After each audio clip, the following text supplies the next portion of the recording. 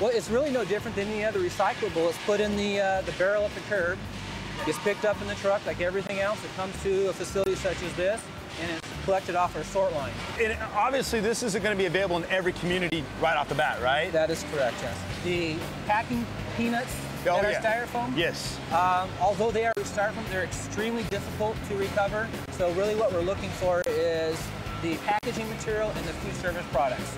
Okay. Little peanuts, there's so many thousands of millions of them, we can't recover those. Okay. So those you can uh, recycle oftentimes with the mailboxes, et cetera, and those type of shipping stores. They'll Sure. take them and reuse them. Where where in the process does this start? Be, is this being pulled out? We try to get it on the area we call the pre-sort. As you can see, it's feeding the recyclables into the sorting system itself. Okay, and this is on the other side. This is the pre-sort you were talking about, right? Yes, yes. We've got styrofoam. now, what do you call it? I keep saying styrofoam, but I know It's called expanded polystyrene. And this is what you guys pulled off today? Yes, we do.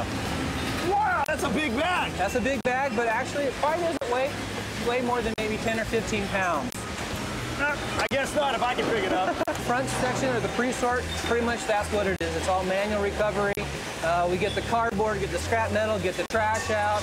We're getting textiles out. We're getting all kinds of things out here. Polystyrene as well, styrofoam. so what are we doing with all this now? Put it into the grinder, The grinder. grind it down to small pieces of styrofoam. It'll get with the blower into this tube, all the way around over to the densifier itself.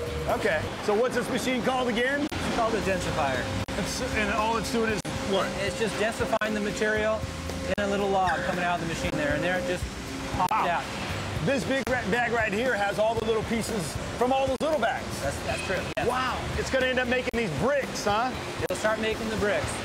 Like 16 of those bags. It would make one bag worth of One bag worth of this, huh? or these things. So once you have the bricks right here and the pallet's full, is your work done? No, we got to market it. We got to find uh, an end user who's going to buy the material from us and then make it into new product.